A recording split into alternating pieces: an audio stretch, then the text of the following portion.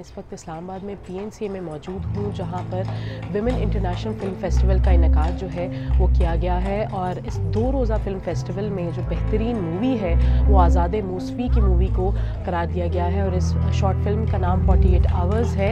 इस फेस्टिवल की ख़ास बात ये है कि इस फेस्टिवल में तमाम जो फ़िल्म दिखाई गई हैं, वो तमाम की तमाम ख़वान फ़िल्म मेकर्स की जानब से बनाई गई हैं। और इसमें जो जो फेस्टिवल है, इसमें अट्ठारह शॉर्ट फ़िल्म जो हैं, वो दिखाई गई हैं। और जो ये जो फ़िल्म बनाई गई हैं, इसमें ख़वान का ताल्लुक अर्जेंटीना और क्रोएशिया, रशिया और पाकिस्तान के अलावा बाकी कई ममालिक से है।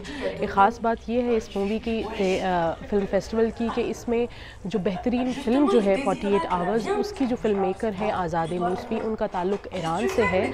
और इसके अलावा जो है, इस इवेंट में इस, इसका जो इनका किया गया है, इसके जो है, बाकी फ़िल्म जो है, वो भी दिखाई गई। दो रोज़ा फेस्टिवल में बहुत ज़्यादा आवाम ने शिरकत की और आवाम इस्लामाबाद से हों, रावलपिंडी से हों, बहुत बड़ी तादाद में आवाम ने इस फेस्टिवल में शिरकत की है।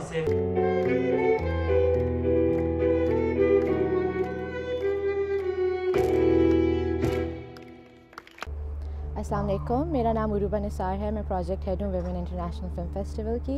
ये हमारा सेवन्थ ईयर है और हम इसको हर साल इसलिए करवाते हैं ऑर्गेनाइज़ क्योंकि हम एक प्लेटफॉर्म देना चाहते हैं फ़ीमेल फ़िल्म मेकर्स को from all over the world ताकि उनकी जो इंडिपेंडेंट फिल्म्स हैं, उनको हम यहाँ पे शोकेस करें, उनको एक आवाज़ मिले और उनका जो काम है उसको हम वाइडर पब्लिक को पहुँचा सकें।